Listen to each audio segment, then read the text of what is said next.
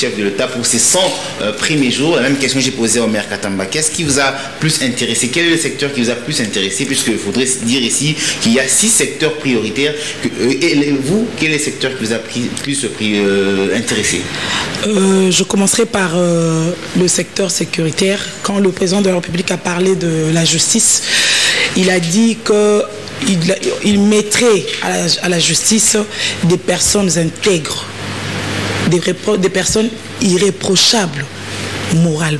Pour administrer la justice. Pour administrer la justice. Une façon de lutter contre la corruption. Une façon de lutter contre la corruption, car c'est cela qui a vraiment tué notre pays. La corruption, le manque de justice, c'est ce qui a vraiment détruit le système de notre pays. Et puis autre chose, c'est la réhabilitation de voies. Et la la, euh, euh, quoi, il a parlé aussi de pardon, de construction des écoles. Parce que nous avons vu... Et réhabilitation de 150 écoles. Il a dit construction et réhabilitation de 150 écoles. Alors, euh, moi, je me dis, il a bien tapé. Il y a l'éducation, il y a la, justice. Ce sont ces deux choses-là pour moi qui étaient vraiment importantes. Et comme elles ont été mises dans les urgences du, chef de l'État, et je me dis que, en tout cas, on est parti pour euh, des bonnes choses. La corruption. Euh, pourquoi la corruption? Pensez, Vous pensez que le chef de l'État veut vraiment combattre cette corruption qui a, depuis plusieurs années, gangréné un peu l'espace politique Effectivement. la vie en RDC Moi, je pense comment, que c'est... Comment, comment, est comment ça sera possible, justement? Déjà, il y a une corruption qui est déjà coupé parce que vous allez bien voir par rapport à la reconstruction de routes et tout, le président de la République a confié directement ces travaux-là à l'OVD et je crois à, l'OR, à l'office de route et tout. Et c'est comme ça que les choses devaient se faire. Parce que à chaque fois qu'on confiait les, ces genres de choses au ministre chargé d'eux, et vous savez que quand le finance libère, le, donne le, pardon, le ministère donne le financement, et un système, c'est du genre, euh, oyo bon ebimi 5000 commis 3 000, a commis 2 000, jusqu'à ce que cet argent-là arrive à destination pour l'exécution de ce qui doit être fait, on, ne perçoit pratiquement rien. Et de fois, nous étions en train de, dire des choses contre l'OVD. Voilà, l'OVD a commencé tel ou tel autre travaux. Il n'a pas pu finir cela. Mais en réalité, ce n'était pas la faute de l'OVD. C'était un problème de financement. Ceux qui étaient chargés de faire les choses ne le faisaient pas comme il faut. Alors cette fois-ci, l'OVD est devant ses responsabilités. L'OVD devant ses et doit nous démontrer de quoi il était capable. Et c'est là que les gens vont comprendre que nous avons eu des autorités qui étaient animées de mauvaise foi. Et c'est une façon de mettre de barrières à cette corruption. Et je pense que si cela marche, et je sais que ça va marcher, parce que les, les décisions prises et la manière dont le président de la République est en train de taper dessus par rapport à la corruption, je pense que ça sera un, ça sera les 100 jours vraiment réussis. Mais je dois aussi se le dire, que les gens ne pensent pas que c'est que le président de la République a dit.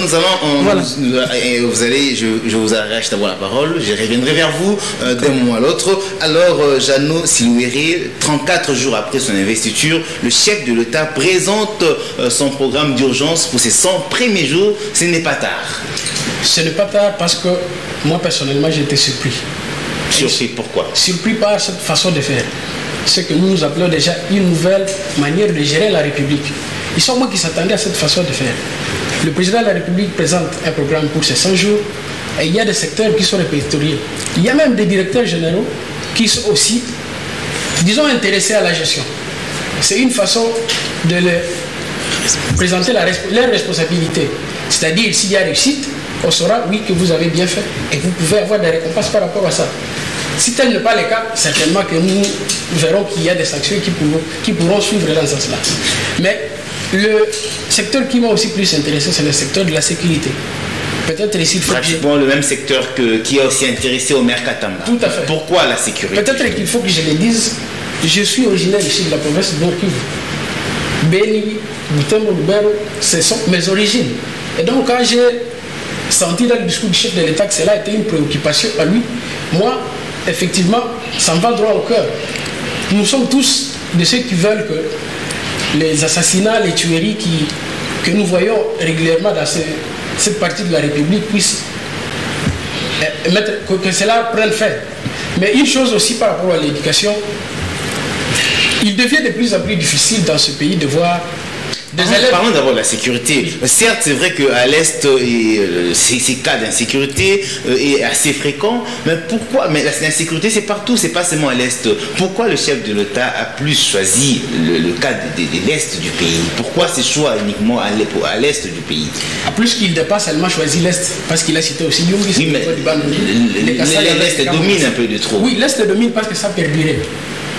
C'est un problème qui datait déjà du gouvernement passé c'est-à-dire des cas Kabila, quand ils étaient encore là. Alors, c'est vouloir donner de l'espoir à cette population qui a tant vraiment attendu cette paix-là et qui n'est pas toujours arrivée. C'est parmi d'ailleurs les défis que cette population attend du gouvernement qui va entrer. Alors quand le président déjà peur de, voir, de fois ou de temps en temps en parler déjà comme ça, ça nous intéresse et nous comprenons déjà que c'est parmi les préoccupations phares de son quinquennat. Allez-y. Oui, j'avais envie aussi de, parler un peu de l'éducation. Allez-y. Nous sommes tous d'accord que dans ce pays, il devient de plus en plus difficile de voir nos frères, nos petits frères, qui terminent les humanités, qu'ils soient aussi à mesure d'encadrer ces jeunes frères. Ça, c'est un problème au niveau de l'éducation. Si nous revenons vers nos parents et chaque fois qu'on leur posait des questions, le tout premier métier qu'ils effectuaient, c'était d'encadrer ceux qui étaient encore derrière, juste quand ils ont obtenu leur diplôme. Aujourd'hui, est-ce qu'il est possible d'avoir un enfant qui a fini ses humanités et qu'il soit à mesure de dépasser pour dans des classes inférieures? La réponse est non. Pourquoi? Parce que l'éducation n'avait plus vraiment cette crème-là qu'il y avait dans les temps passés. Et je crois aujourd'hui qu'avec cette façon de gérer la République, que nous appelons certainement autrement, il sera possible de poser une fondation digne pour une éducation meilleure pour les jours à venir. Voilà, merci. Euh, poser une fondation pour une meilleure éducation pour le jour, le jour qui viendront. Alors, Omer Katamba, pourquoi le choix de chaque priorité? J'insiste, mais à votre avis, pourquoi ces choix-là? Il y, a, la justice, il y a la jeunesse, il y a les infrastructures. Pourquoi, pourquoi ces choix-là, à votre euh, avis? Oui, euh, Monsieur Prince, à mon avis, vous savez, euh, la justice, euh, même les, saintes écritures les, disent, euh, c'est la justice qui élève une nation, n'est-ce pas? Et lorsque la, justice n'est pas bien distribuée dans, un pays, la conséquence, c'est la corruption. C'est un pays corrompu, n'est-ce pas? Et, cette corruption chez nous est vraiment est pratiquement institutionnalisée. Voilà pourquoi il était temps que le président de la République donne les tons parce que, comme vous le savez, le poisson commence à pourrir par la tête. N'est-ce pas Lui, c'est l'animateur de, l'institution présidence de la République. C'est vraiment euh, avec beaucoup de satisfaction que, que personnellement, je reçois ça et je crois les Congolais aussi, que lui-même donne les tons pour combattre la corruption parce que c'est pratiquement euh, un cancer des eaux. Et lorsque ça entre dans les institutions, et vous voyez quand le cancer est dans les eaux, vous voyez la suite, n'est-ce pas? Et voilà pourquoi dans un pays sans justice, on ne peut pas se développer. L'éducation, mais qu'est-ce que je peux dire? Lorsque dans un pays, il n'y a pas d'éducation. Qu'est-ce qu'on dit? La jeunesse, c'est l'avenir de demain. Mais quel genre de jeunesse? Une jeunesse euh, analphabète non. Lorsque la population est formée, et un pays vaut ce que euh, un pays reflète les niveaux de son peuple. Lorsque le peuple est instruit, vous verrez que ce pays-là est élevé sur tout le plan. Le plan de réflexion, le plan euh, même matériel, vous, verrez que la façon de faire les choses est vraiment différente par rapport aux gens qui, sont, euh, qui ne sont pas instruits. Et je crois qu'il est, il est, il est des bonnes lois pour que le président de la République s'attaque à cela. la culture mais la culture, c'est c'est pratiquement... Un, secteur oublié.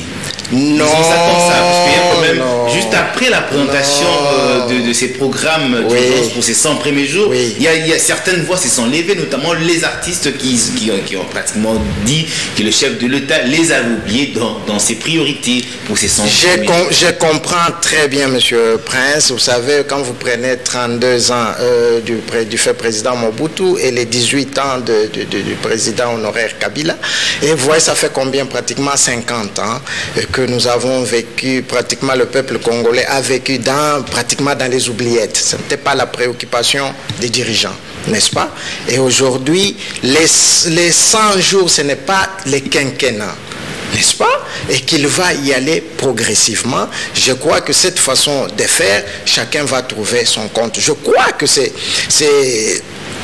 une façon, euh, à mon avis, d'essayer de, de, tester pour voir ensuite comment les, les, travaux vont se dérouler. Parce que maintenant, là, c'est pratiquement lui-même qui, qui, qui, qui, va pratiquement superviser, effectivement, avec ses collaborateurs. Mais je crois qu'il y aura un moment où le gouvernement sera en place et que les choses vont se faire normalement, n'est-ce pas? Mais du moins, dans ces 100 jours ici, il aura au moins l'idée exacte de comment les choses vont se faire parce que vous savez, vous savez comment les choses se faisaient par le passé. Merci Omer Katamba. Alors Sylvie euh, Kalala, quand est-ce que euh, le, le, programme, euh, quand, quand est-ce que l'exécution du programme débute Parce que voudrait dire ici, le président présente son programme d'urgence après 34 jours de son investiture. Quand est-ce que ça commence? Euh, je vais d'abord dire, parce que dans, ces, dans, le, dans le discours du chef de l'État, c'est qui est... précisé justement. Oui, oui par, rapport, par rapport à la justice, il a dit déjà qu'il y aura une exécution dans 10 jours. Par rapport à la libération de prisonniers politiques et tout, tout va s'exécuter dans 10 jours. Euh, constitutionnellement, s'il faut que je dise, si je me trompe, je crois que M. Maire est là, il a la conscience avec lui, il, va, il, va, il pourra peut-être certainement nous aider. Le 100 jours du président de la République, c'est compte avec le pouvoir exécutif. En fait, le président n'a pas encore, il, il est là président, mais avec un gouvernement sortant. Il faut qu'il y ait la mise en place du nouveau gouvernement, parce que il faut d'abord le gouvernement qui va faire exécuter le programme du chef de l'État. Et nous savons tous que ceux qui sont là, jusque-là, ce sont ceux qui ont, ils sont aussi, ils ont aussi participé à la destruction de, de ce pays. Et je ne pense pas qu'il faudrait, d'après moi, il ne faudrait pas compter les 100 jours du président avec ses gouvernements sortants.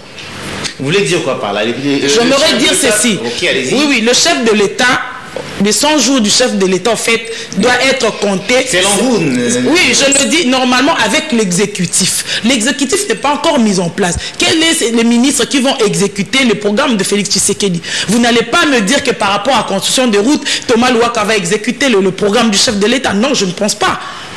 Vous n'allez pas me dire que euh, euh, Alexis Tambo va exécuter ce que le président de la République a demandé par rapport à la justice, vu ce qu'ils ont eu à faire. Je ne pense pas qu'il le fera.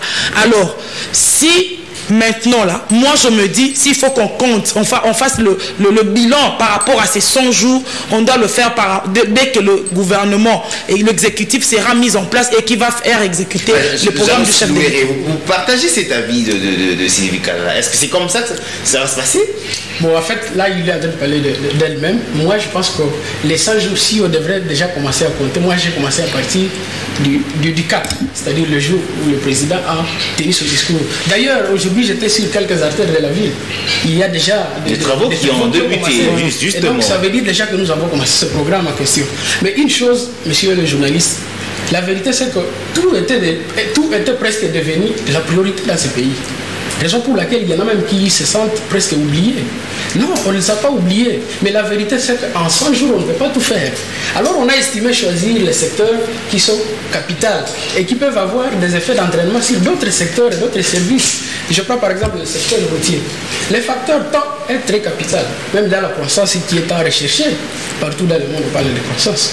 Mais si vous ne pouvez pas avoir la possibilité de quitter ici et d'arriver en un lieu quelconque à temps, est-ce que vous pourriez vraiment être à l'aise et bien gérer vos, vos activités, affaires. vos affaires? Je pense que non. Les Anglais disent que l'État c'est de l'argent. Nous nous disons le travail c'est de l'argent. Quand bien même nous disons ça, les facteurs temps très capital, alors nous estimons que jusque-là, les chantiers haut de on peut donc toutefois continuer à observer et à voir comment cela va s'exécuter. Et j'ai la foi. J'ai la foi dans les 100 jours, y aura quelque chose. Alors, euh, Omer Katamba, la même question que j'ai posée à Sylvie, ça commence quand justement l'exécution euh, de ces programmes d'urgence pour ces 100 premiers jours, pour les 100 premiers jours du chef de l'État, ça commence quand? Parce que cette question euh, reste posée, il n'y a, mais, pas, mais, pas, de réponse. Mais le l'État n'a pas non plus éclairé en fait, par rapport à, au début de, de, de l'exécution de ces programmes. Mais je pense que ça a déjà commencé dès lors que le président a annoncé. Je m'explique. Parce que le président ne peut pas, vous savez, euh, quand on se met sur un projet, euh, on, on, évalue le projet et on évalue le moyen qu'il faut mettre euh, dans ces projets-là. Et je crois que euh, lorsque le président de la République a pris le micro pour annoncer cela, je crois que tout est fin prêt, le moyen pour exécuter, et il reste quelques jours, de, quelques jours pour que ce que les entreprises qui doivent euh, euh, commencer les travaux se mettent en mouvement. C'est question de quelques jours, je crois. Mais dès lors qu'il a annoncé, rassurez-vous que ça a déjà commencé. Mais avec quel gouvernement? C'est aussi important. C'est le, Oui. le même gouvernement qui va accompagner le chef de l'État dans l'exécution de je ce programme. dit, je l'ai dit tout tantôt, ce n'est pas avec ces gouvernements ici, c'est ainsi que vous voyez, il s'est pratiquement replié un peu sur son cabinet, parce que tous ces gens qui composent ces gouvernements-là, tous ces messieurs-là, vous les connaissez, Euh, ce sont des gens qui, ont qui avaient pratiquement pris ces pays en otage, qui avaient considéré que la chose publique, c'est leur chose privée, ce n'était pas pour le peuple congolais, et vous voyez quand même, ici je ne peux pas détailler certains comportements, mais je crois, vous êtes journaliste, vous observez, vous voyez les comportements des uns et des autres, n'est-ce pas? Et que en les faisant de cette, façon, parce qu'il ne peut pas attendre quand même. Le peuple s'impatiente, le, le- le- le- le- pays étaient dans un, dans un état de délabrement total, il ne peut pas attendre que le gouvernement se mette en place. C'est pourquoi il donne le ton. Et il a dit c'est pour 100 jours. Les restes de travail, il va continuer avec le gouvernement lorsque le gouvernement va être mis en place. Mais pour le 100 jours, il faut quand même donner le ton et il faut que lui-même palpe du doigt comment les travaux vont s'exécuter pour qu'il ait une idée de la suite lorsque les choses vont être normales avec le gouvernement mis en place. Certes, le chef de l'État a donné des chiffres, mais il y a un problème de moyens au maire Katamba. D'où com- comment trouver justement le moyen pour euh, accomplir ces programmes ou exécuter ces programmes du chef de l'État? Il y a un problème de moyens. Mais- Euh, vous l'ignorez pas, j'espère. Monsieur Prince, j'ai toujours euh, martelé sur euh, votre plateau ici. Et je l'ai toujours dit que, ça c'est ma foi, mon, mon expertise, n'est-ce pas? Dans ces pays, il y a beaucoup d'argent. Et je vous ai toujours dit, j'ai toujours insisté, j'ai dit, il faut une gestion saine des finances publiques.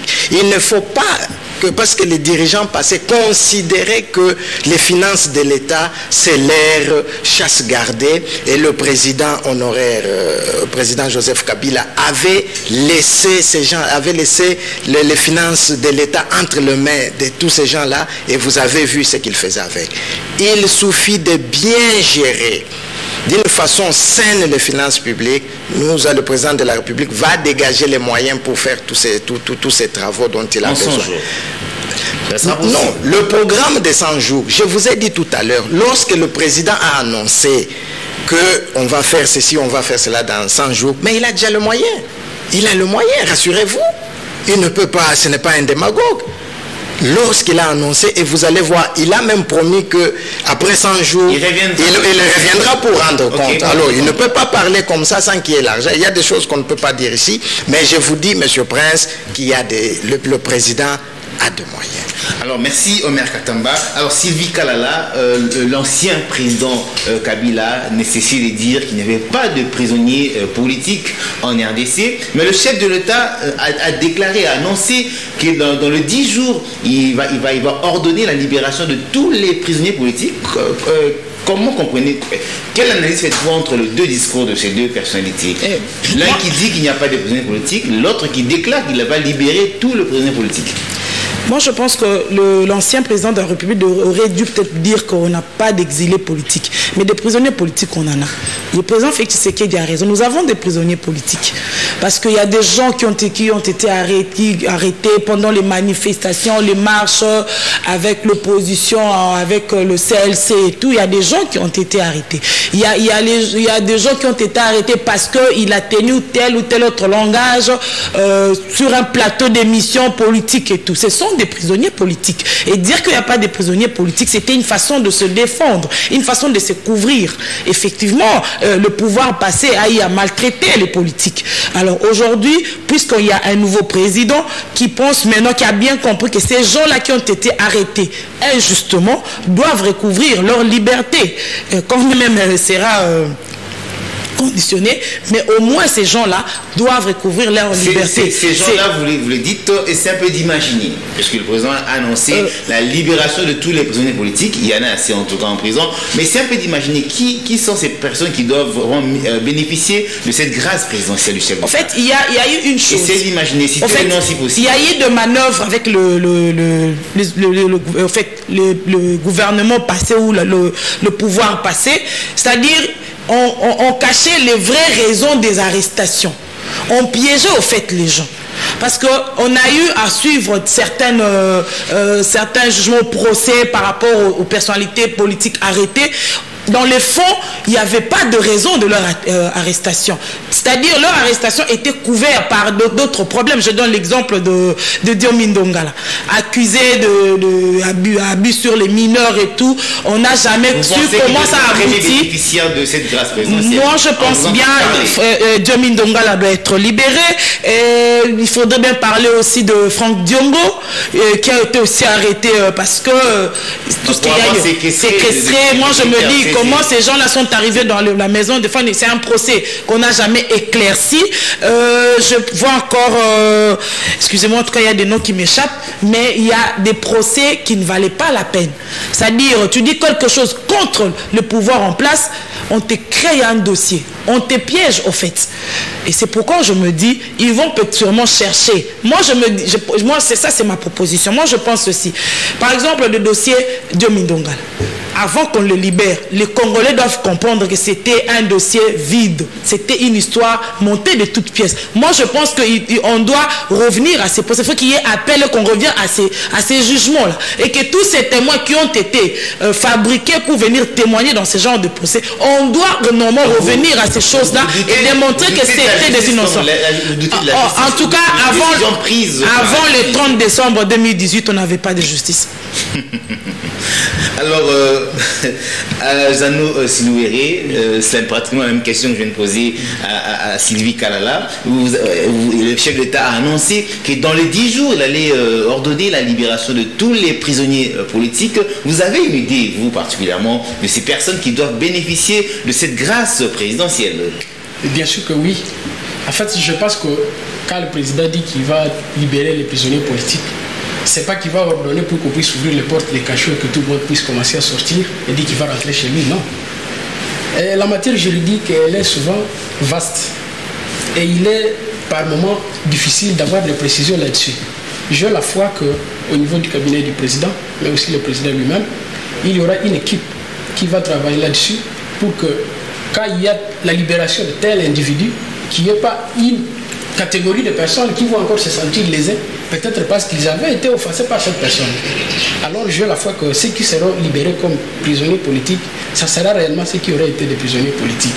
Et que s'il y en a qui ont été arrêtés pour d'autres faits, qui sont en dehors de la politique, certainement que les dossiers, les dossiers seront instruits pour que les juridictions vous, ne voyez pas que le chef d'État euh, sera devant une situation euh, impossible de, résoudre parce qu'il y aura tout le monde qui voudra bien être libéré. Si jamais ils ne sont pas libérés, vous, imaginez un peu la suite. Non, non, je pense qu'il y, y, a plusieurs prisonniers comme ça qui se réclament être des prisonniers politiques. Ah oui, c'est ce que j'étais en train de dire. Je pense que le président ne va pas certainement s'y prendre seul il y aura une équipe qui va l'accompagner pour éviter des, erreurs juridiques pareilles, pour qu'il y ait encore des contestations qui peuvent renaître parce qu'il y a telle personne qui a été lésée. Il y en a quelqu'un peut-être qui a été condamné pour telle fin, qui n'a rien à voir avec la politique, mais il peut avoir des possibilités de s'échapper et revenir du côté politique. S'il est libéré, il y a au moins quelqu'un qui sait qu'il a fait ça. Il peut se sentir lésé. Alors je pense que cette équipe devrait donc être à la hauteur pour que le président soit épargné de telles situations. Alors, Omer Katamba, libérer tous les prisonniers euh, politiques, comment ça doit se faire? Quelle est la procédure pour, Comment ça doit, se passer? Mais le président de la République lui-même l'a annoncé, je crois, sur votre plateau ici dans l'émission passée, je l'avais dit, je crois que vous m'avez posé la question. Euh, j'avais dit que le président euh, va libérer les prisonniers politiques, mais j'avais posé la question, il va le faire avec quel ministre de la Justice n'est-ce pas? Parce que j'insinuais qu'il allait hein, euh, recourir à la grâce présidentielle. Mais lorsqu'il y a la grâce présidentielle, le reste, c'est le ministre de la Justice qui doit qui doit, qui doit, qui doit, qui doit exécuter cette décision de, de- de grâce présidentielle. Et il est ministre. Vous connaissez, vous connaissez. Je- je connais- Vous avez encore une idée de ce qui s'est passé il n'y a pas très longtemps avec le ministre de la Justice. C'est ce que je voulais dire, mais que voulez-vous? Il doit comprendre qu'il était dans un système euh, totalitaire. N'est-ce pas? Parce qu'on a posé, euh, permettez-moi aussi de répondre Allez-y. là-dessus. Les, les- les- les détenus politiques, ce ne sont pas, euh, n'ont pas commis euh, des infractions des droits communs. C'est par rapport à leurs opinions n'est-ce pas? C'est par rapport à ça. Et vous savez que le, système totalitaire est dans la négation des libertés publiques. C'est ainsi que certaines personnes se sont retrouvées en prison. C'est comme nous, comme nous sommes en train de, parler ici. Je crois que j'ai toujours martelé ici sur la gestion saine des finances publiques. On ne détourne pas ceci, qu'on ne fasse pas cela. Vous pensez que si c'était dans le système passé, mais moi je serais déjà en prison. Je serais déjà en prison parce que il y a des gens, c'était les intérêts des gens qui doivent construire les immeubles avec l'argent, l'argent du peuple, n'est-ce pas? Et voilà, nous, y sommes. Le, ministre euh, de la Justice euh, doit comprendre qu'il est ministre de la République et qu'il était dans un système. Aujourd'hui, c'est dans un autre système. Dire qu'il n'y a pas de détenus politiques, c'est c'est pas vrai. Bon, c'est un système totalitaire. Et là, c'est comme je l'ai dit, il y a négation des libertés publiques. Mais nous affirmons qu'il y a des détenus politiques. Il y a des figures connues et il y a des figures qui ne sont pas connues. Alors, tous ces gens-là doivent être recensés rapidement pour que dans les... Je crois qu'ils les connaissent déjà parce que au niveau du centre interdiocésain, n'est-ce pas, il y a eu des travaux et si ma mémoire euh, ne me trahit pas, je crois que c'est le président euh, actuel, le président euh, Félix Tshisekedi, qui était dans cette commission-là. Donc, il a une idée. Vous pensez que ce sera aussi une bonne occasion pour, pour réouvrir le procès Laurent Désiré Kabila Bon, le procès Laurent Désiré Kabila, comme je ne maîtrise pas, euh, je n'ai pas beaucoup d'éléments là-dessus, je ne saurais pas vraiment me prononcer. Mais si c'est pour que la vérité puisse éclater, parce qu'il a été quand même président de la République de ces pays, et mourir de cette façon-là, s'il y a lieu que un jour le Congolais puisse connaître la vérité, pourquoi pas? Pourquoi pas? Alors Sylvie euh, Kalala, euh, le, chef de l'État, a, hérité d'un pays euh, par terre, tombé, en tout cas sur tous les secteurs, en tout cas le pays était par terre. Aujourd'hui, il a un programme, il a un programme pour ces 100 premiers jours qu'il doit vraiment exécuter, qu'il doit mettre en œuvre. et c'est possible en son genre. Est-ce que c'est possible de- de- d'atteindre ne fût-ce que les 50%, les 60% euh, de, de l'exécution de ces programmes? Moi, je pense que c'est possible parce que euh, le président de, la République est animé de bonne foi. Animé de bonne foi, et je pense aussi comme il s'est fait entourer de bonnes personnes, il a confié de travaux aux bonnes personnes parce que cette fois-ci, tout, tout celui qui a la charge de faire quelque chose, c'est que, parce que vous devez comprendre ce que le chef d'État fait le samedi. Il a présenté ses programmes d'urgence sur la place publique. Il y avait le peuple qui était là. C'est-à-dire, il a pris le peuple en témoin. Il présente un programme et ceux qui doivent l'exécuter. Et là, moi, je pense que c'est possible avec la bonne foi qu'il a, l'amour du Congo, le soutien du peuple congolais, et c'est possible. Vous pensez que c'est très significatif le fait d'avoir présenté ces programmes sur la place publique, par exemple à l'e- à l'espace Oui, c'est significatif parce qu'il a pris le peuple congolais en témoin. Le peuple congolais était là en témoin et je pense que ceux qui ont la charge de l'exécution de ces programmes d'urgence ont compris le message que si nous ne faisons pas ce qui doit être fait, le peuple est là. Le peuple est là.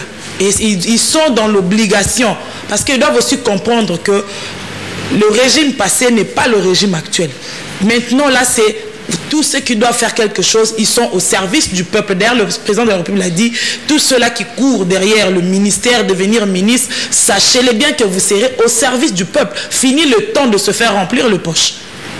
Alors, euh, Jeannot Silouéré, avant la fin de la présentation de son programme pour ces 100 premiers jours, le chef de l'État a, appelé ou a demandé à la population congolaise de, changer, hein, de changer leur mentalité, d'aller vers un changement de mentalité, c'est ce qu'il a dit. Il a demandé également à cette population de l'accompagner pour la concrétisation euh, de ces programmes. Changer la, mentalité, euh, quelle mentalité justement? Ah Oui, merci une fois de plus. Euh, dans un cours de pays à voie de développement à l'université, j'ai appris que même quand vous estimez développer une nation, tout commence par, l'homme, par l'humain. Et on m'a appris que c'est le changement de mentalité qui nous amène aussi à être conscient des actes qu'on est en train de poser. Avant qu'on soit aussi trompé déjà avec le gouvernement, avec le président de la République. Mais essayons de nous voir en nous-mêmes et de te contrôler toi-même. Est-ce qu'il y a une responsabilité que toi, tu dois faire dans ton entourage et qui peut-être est en train de nuire à notre République? C'est à ça qu'on est en train d'appeler. Je vais par exemple prendre un exemple de ceux qui sont en train de travailler, les autres acteurs principaux. Il y en a qui font aujourd'hui de takeaway.